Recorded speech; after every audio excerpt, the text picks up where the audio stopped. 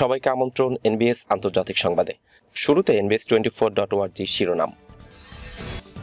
রুশ বিরোধী নিষেধাজ্ঞা একশো দশ বিলিয়ন ডলার ক্ষতি ইউরোপীয় কোম্পানিগুলোর। নেটো প্রশিক্ষিত ইউক্রেনীয় আর্মি ব্রিগেড বিপুল ক্ষতির সম্মুখীন, যা বলছে নিউ ইয়র্ক টাইমসের প্রতিবেদন। যুক্তরাষ্ট্রের জলসীমায় চীন ও রাশিয়ার এগারো যুদ্ধজাহাজ। ভারতের নূর দাঙ্গায় বহু মুসলিম ও রোহিঙ্গা গ্রেপ্তার। ইসরায়েলকে তথ্য দিয়ে সাতজনকে মৃত্যুদণ্ড দিল গাজা। ইরানি জাহাজ আটকালে আমরা মার্কিন জাহাজ আটকে দেব জানালো আইআরজিসি। ইমরান খানের স্বাস্থ্য নিয়ে উদ্বিগ্ন পিটিআই। এবং মোদির বিরুদ্ধে অনাস্থা প্রস্তাবের আগে পার্লামেন্টে ফিরছেন রাহুল গান্ধী।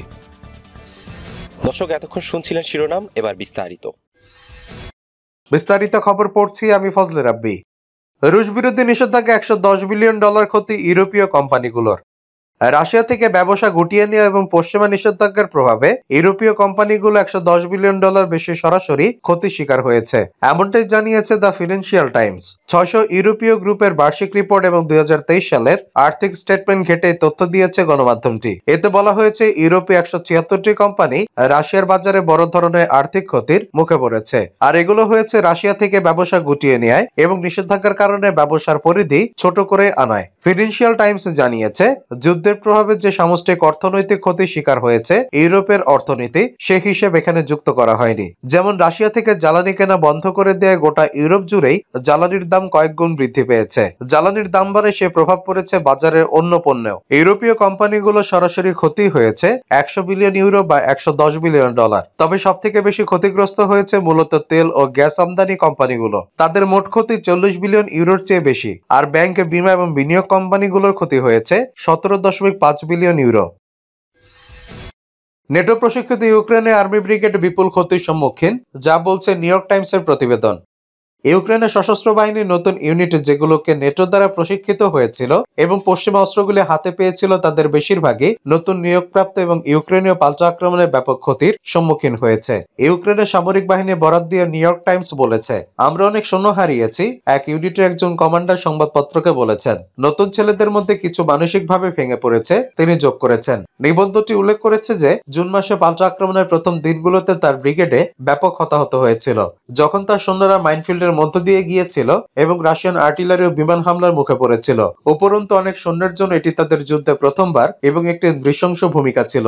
সংবাদপত্রের মতো, নতুন ইউক্রেনীয় ব্রিগেডগুলি যা পাল্টা আক্রমণের চালিকা শক্তি হওয়া উচিত ছিল, নিয়োগকারীদের দ্বারা গঠিত, তাদের এই বছর সামরিক বাহিনীতে যোগদানের জন্য ডাকা বা স্বেচ্ছাসেবী হওয়ার পরে প্রাথমিক প্রশিক্ষণ দেওয়া হয়েছে। তাদের কমান্ডাররা বেশিরভাগই অভিজ্ঞ যোদ্ধা এবং কেউ কেউ মার্কিন যুক্তরাষ্ট্রে অফিসার প্রশিক্ষণ সম্পন্ন করেছেন। সংবাদপত্রটি উল্লেখ করেছে যে, জুনের শুরুতে ইউক্রেনীয় বাহিনী প্রচুর ক্ষতির সম্মুখীন হয়েছিল। দুর্দান্ত রাশিয়ান প্রতিরক্ষার বিরুদ্ধে অগ্রসর হওয়ার জন্য সংগ্রাম করে।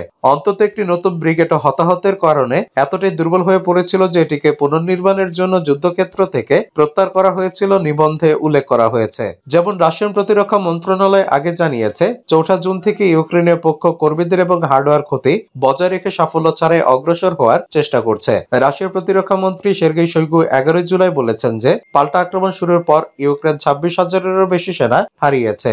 রাশিয়ার প্রেসিডেন্ট ভ্লাদিমির পুতিন জোর দিয়ে বলেছেন যে, ইউক্রেনের সামরিক বাহিনী কোনো ক্ষেত্রেই সাফল্য অর্জন করতে ব্যর্থ হয়েছে। যুক্তরাষ্ট্রের জলসীমা চীন ও রাশিয়ার এগারো যুদ্ধজাহাজ। যুক্তরাষ্ট্রে আলাস্কার কাছে নৌমহড়া চালিয়েছে রাশিয়া ও চীন, আর এ নিয়ে উদ্বিগ্ন হয়ে পড়েছে ওয়াশিংটন। তারা সঙ্গে সঙ্গে সেখানে চারটি যুদ্ধজাহাজ এবং একটি বিমান পাঠায়। যুক্তরাষ্ট্রের দাবি, রাশিয়া চীনের একটি বড় নৌবহর আলাস্কার উপকূলের কাছে মহড়া চালিয়েছে। যদিও ঘটনাটি ঘটেছে আরও এক সপ্তাহ আগে। তবে বিষয়টি প্রকাশ্যে আসে শনিবার, যখন আলাস্কার দুজন রিপাবলিকান সেনেটর মার্কিন পার্লামেন্টে বিষয়টি উত্থাপন করেন। খবরে জানানো হয়, দুই সিনেটরের নাম লিসা মার্কোস্কি এবং ড্যান সালিভান। তারা বলেন, অন্তত এগারোটি শত্রু যুদ্ধজাহাজ মার্কিন জলসীমায় প্রবেশ করেছিল। তারা চীন রাশিয়ার এই আচরণকে অনুপ্রবেশ বলে আখ্যায়িত করেন। সালিবান বলেন এই ঘটনা আমাদের মনে করিয়ে দেয় যে আমরা বেইজিং ও মস্কোর স্বৈরশাসকদের দ্বারা আবারও আগ্রাসনের হুমকিতে রয়েছে। মার্কিন নৌবাহিনীর অবসরপ্রাপ্ত অধিনায়ক এবং হেরিটেজ ফাউন্ডেশনের সিনিয়র রিসার্চ ফেলো ব্রেন্ডে সেডলার বলেন, ইতিহাসে এমন ঘটনা আর ঘটেনি। ইউক্রেনে রাশিয়ার চলমান যুদ্ধ এবং তাইওয়ান নিয়ে মার্কিন যুক্তরাষ্ট্র এবং চীনের মধ্যে রাজনৈতিক উত্তেজনার মধ্যেই আলাস্কায় নৌবহর পাঠানো একটি অত্যন্ত উত্তেজক কৌশল। এদিকে ইউএস দরদার কমান্ডো নিশ্চিত করেছে যে চীন এবং রাশিয়া অঞ্চলে যৌথ নৌমহড়া চালিয়েছে। তবে ঠিক কয়টা যুদ্ধজাহাজ চীন, রাশিয়া পাঠিয়েছিল তা তারা নিশ্চিত করে জানায়নি। এক বিবৃতিতে তারা বলেন, যুক্তরাষ্ট্রের সামুদ্রিক সম্পদ ও প্রতিরক্ষা নিশ্চিত করার জন্য আমরা পাল্টা অপারেশন পরিচালনা করেছি। জানা গেছে, শত্রু দুই দেশের এমন উস্কানিমূলক আচরণের জবাবে যুক্তরাষ্ট্র সেখানে চারটি ডেস্ট্রয়ার এবং একটি পসেডিন পি এইট টহল বিমান পাঠিয়েছিল। যদিও চীন, রাশিয়ার যুদ্ধজাহাজের তুলনায় এই সংখ্যা অনেক কম ছিল। ভারতের নূর দাঙ্গায় বহু মুসলিম ও রোহিঙ্গা গ্রেপ্তার। ভারতের হরিয়ানাতে সাম্প্রতিক দাঙ্গা ও সহিংসতার পর বেছে বেছে শুধু একটি সম্প্রদায়ের লোকজনকে আটক করা হচ্ছে বলে অভিযোগ উঠেছে। রাজ্যের নু ও গুরগাঁওতে গত সোমবার থেকে শুরু হয় সাম্প্রদায়িক সহিংসতায় এ যাবৎ মোট দুইশো দুই জনকে গ্রেপ্তার করা হয়েছে এবং আশি জনকে প্রিভেন্টিভ ডিটেনশনে আটক করা হয়েছে বলে হরিয়ানা স্বরাষ্ট্রমন্ত্রী অনিল বিস নিশ্চিত করেছেন। যদিও গ্রেপ্তার ব্যক্তিদের ধর্মীয় পরিচয় সরকার প্রকাশ করেনি, তবে এদের মধ্যে প্রায় নব্বই শতাংশই নু ও আশপাশের এলাকার মুসলিম বাসিন্দা বলে বিবিসি বিভিন্ন সূত্র মারফত নিশ্চিত হতে পেরেছে। ধৃতদের মধ্যে নূর কাছে তাউরুর একটি বস্তির বাসিন্দা, দুই থেকে তিন ডজন রোহিঙ্গা মুসলিমও রয়েছে। পুলিশ বলেছে রোহিঙ্গারা দাঙ্গার দিন হিন্দুদের মিছিলে পাথর ছোড়ায় জড়িত ছিলেন। এছাড়া নু ও মেওয়ার শহরের বিভিন্ন এলাকায় হানা দিয়ে পুলিশ শতাধিক মুসলিম যুবককে তুলে নিয়ে গেছে বলে জানা যাচ্ছে। অন্যদিকে নূর পাশের অভিজাত গুরগাঁওতে একটি মসজিদে হামলার ঘটনায় এ পর্যন্ত চারজনকে গ্রেপ্তার করা হয়েছে বলে গুরগাঁও পুলিশ নিশ্চিত করেছে। গত সোমবার একত্রিশে জুলাই মধ্যরাতে বিপুল সংখ্যক জনতা ওই মসজিদে হামলা চালায় এবং মসজিদের ভারপ্রাপ্ত ইমাম সেই ঘটনায় নিহত হন। এই দাঙ্গায় জড়িত সন্দেহে উগ্র হিন্দুত্ববাদী সংগঠন বজরং দলের বিট্টু বজরঙ্গী নামে এই নেতাকে হরিয়ানা পুলিশ ফরিদাবাদ থেকে গ্রেপ্তার করেছিল। কিন্তু তিনি চব্বিশ ঘণ্টার মধ্যেই জামিন পেয়ে গেছেন। অন্যদিকে মনু মানেশ্বর নামে যে হিন্দুত্ববাদী নেতা ইউটিউবারকে কেন্দ্র করে নৌতে সহিংসতার সূত্রপাত শুরু হয়েছিল বলে অভিযোগ, পুলিশ এখনও তার বিরুদ্ধে কোনো এফআইআর দায়ের করেনি। এদিকে গত বৃহস্পতিবার থেকে নৌতে বুলডোজার দিয়ে যে অবৈধ স্থাপনা ভাঙার অভিযান শুরু হয়েছে, তাতেও বেছে বেছে শুধু মুসলিম বাসিন্দাদেরকেই টার্গেট করা হচ্ছে বলে অভিযোগ উঠেছে।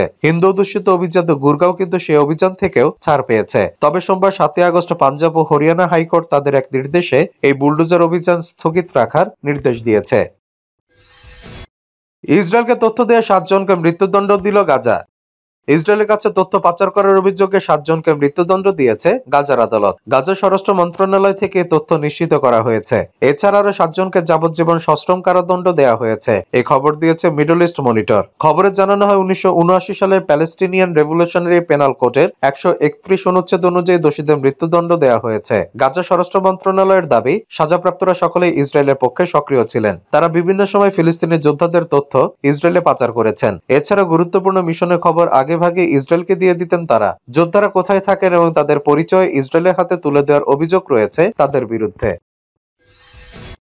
ইরানি জাহাজ আটকালে আমরা মার্কিন জাহাজ আটকে দেব, জানালো আইআরজিসি। ইরানের ইসলাম বিপ্লবী গার্ড বাহিনী আইআরজিসি মুখপাত্র ব্রিগেডিয়ার জেনারেল রমজান শরীফ বলেছেন, মার্কিন যুক্তরাষ্ট্র ইরানের কোন জাহাজ আটক করলে পাল্টা পদক্ষেপ নেওয়া হবে, তাদের জাহাজ আটক করা হবে। তিনি সোমবার এক অনুষ্ঠানে কথা বলেন। রমজান শরীফ আরও বলেন, ইরান যে গোটা অঞ্চলে এত বড় শক্তি হতে যাচ্ছে, তা সব দেশে বুঝতে পেরেছে। তারা আমেরিকার অক্ষমতাও ধরতে পেরেছে। এখন এই অঞ্চলে দেশগুলো মনে করে পারস্য উপসাগরের নিরাপত্তা নিশ্চিত করার জন্য বাইরের শক্তির দরকার নেই। পারস্য উপসাগরের দেশগুলো এই নিরাপত্তা নিশ্চিত করবে। তিনি বলেন, ইউরোপের দেশগুলোতে কেন কোরআন অবমাননা করা হচ্ছে? এর কারণ হলো তারা ইসলাম ধর্মকে উগ্র, অমানবিক হিসেবে তুলে ধরতে চায়। জঙ্গি গোষ্ঠী দায়েশ বা আইএস সৃষ্টির পেছনে তাদের একই উদ্দেশ্য কাজ করেছে। আইএস প্রতিষ্ঠার আগে পাশ্চাত্যে ইসলাম ধর্মের প্রতি মানুষের আকর্ষণ ও আগ্রহ দেখে পাশ্চাত্যের স্বার্থবাদী নেতারা ভীত সন্ত্রস্ত হয়ে হয়ে পড়েছিল। ইরান স্বাধীনভাবে নীতি গ্রহণ করে এবং বিপ্লবী ও প্রতিরোধ ফ্রন্টকে রক্ষায় কাজ করে বলে মন্তব্য করেন রামাজান শরীফ। ইমরান খানের স্বাস্থ্য নিয়ে উদ্বিগ্ন পিটিআই। দুর্নীতি মামলায় দোষী সাব্যস্ত সাবেক প্রধানমন্ত্রী ইমরান খানকে রাখা হয়েছে অ্যাটাক কারাগারে। কিন্তু তাকে আদিয়ালা কারাগারে স্থানান্তর সোমবার ইসলামাবাদ আদালতে আবেদন জানিয়েছে তার দল পাকিস্তান তেহরিক ইনসাফ বা পিটিআই। সামাজিক ও রাজনৈতিক অবস্থার কথা বিবেচনা করে দ্রুত এই শ্রেণির সুবিধা দেওয়া উচিত মনে করেন পিটিআই নেতারা। আবেদনে উল্লেখ করা হয়েছে ইমরান খান ধনী পরিবারের সন্তান। তার শিক্ষা, চলাফেরা, সামাজিক ও রাজনৈতিক অবস্থানের কারণে উন্নত জীবনযাপনে অভ্যস্ত। যুক্তরাজ্যের অক্সফোর্ড বিশ্ববিদ্যালয় থেকে স্নাতক করেন। পাকিস্তান জাতীয় ক্রিকেট দলের অধিনায়ক অধিনায়কও ছিলেন তিনি। সব দিক বিবেচনায় সাবেক প্রধানমন্ত্রীকে এ ক্যাটাগরি সুবিধা দেওয়ার আবেদন জানানো হয়েছে। তোষাখানার দুর্নীতি মামলায় গত পাঁচই আগস্ট আদালত দোষী সাব্যস্ত হন ইমরান খান। কিন্তু সবগুলো অভিযোগ অস্বীকার করে আসছেন তিনি। রায় বিচারক হুমায়ুন দিলোয়ার ইমরানকে এক লাখ রুপি জরিমানা করেন। তাকে গ্রেপ্তারের পরপরই অ্যাটক কারাগারে নিয়ে যায় পাঞ্জাব পুলিশ। পিটিএ জানিয়েছে, রায়ের বিরুদ্ধে অবিলম্বে তারা উচ্চ আদালতে আপিল করবেন। ইমরানের শারীরিক পরিস্থিতি নিয়ে উদ্বেগ জানিয়েছেন তার দল, পরিবার ও ব্যক্তিগত চিকিৎসক ফয়সাল সুলতান। গত বছর রাজনৈতিক সমাবেশে গুলিবিদ্ধ হওয়ার বিষয়টিও উল্লেখ করা হয়েছে। মোদির বিরুদ্ধে অনাস্থা প্রস্তাবের আগে পার্লামেন্টে ফিরছেন রাহুল গান্ধী। মানহানি মামলায় দুই বছরের কারাদণ্ড স্থগিত হওয়ার আটচল্লিশ ঘণ্টার মধ্যেই পার্লামেন্ট সদস্যদের পদ ফিরে পেয়েছেন ভারতের বিরোধী দল কংগ্রেস নেতা রাহুল গান্ধী। ভারতের বর্তমান প্রধানমন্ত্রী নরেন্দ্র মোদীর পদবি নিয়ে কটুক্তির অভিযোগ করা মানহানির মামলায় সুরাটের দায়রা আদালত রাহুলকে এ দণ্ড দিয়েছিল। ভারতের সুপ্রিম কোর্ট শুক্রবার সাজা স্থগিত করে। এরপরই রাহুলের লোকসভা সদস্য পদ ফিরিয়ে দেন স্পিকার ওম বিড়লা। এদিকে মণিপুরে সহিংসতা এবং ধর্ষণ ইস্যুতে লোকসভায় মঙ্গলবার প্রধানমন্ত্রী নরেন্দ্র মোদীর বিরুদ্ধে অনাস্থা প্রস্তাব তুলবেন বিরোধীরা। ধারণা করা হচ্ছে এদিন পার্লামেন্টে উপস্থিত হয়ে শক্ত ভূমিকা রাখবেন রাহুল গান্ধী। কেরালার ওয়েনার থেকে নির্বাচিত সংসদ সদস্য রাহুল গান্ধী। দুই সালে লোকসভা নির্বাচনের আগে কর্ণাটকে এক জনসভায় পলাতক ব্যবসায়ী নীরব মোদী ও ললিত মোদীর সঙ্গে নরেন্দ্র মোদীর নামের মিল নিয়ে প্রধানমন্ত্রীকে কটাক্ষ করেছিলেন রাহুল। তিনি বলেছিলেন, সব চরের পদবি মোদী হয় কি করে? বিষয়টি মানতে পারেননি ভারতীয় জনতা পার্টি বা বিজেপির বিধায়ক ও গুজরাটের সাবেক মন্ত্রী পূর্ণেশ মোদী। তিনি রাহুলের বিরুদ্ধে মানহানির মামলা করেন। চলতি বছরের মার্চে গুজরাটের আদালত রাহুলকে দোষী সাব্যস্ত করে দণ্ড দেন। পরে তিনি সুপ্রিম কোর্টে সাজা স্থগিত চেয়ে আবেদন করেছিলেন। দর্শক, এই ছিল এখনকার মতো। আমাদের পরবর্তী সংবাদ দেখার আমন্ত্রণ জানিয়ে বিদায় নিচ্ছি আমি শফিউল আলম আরাফ।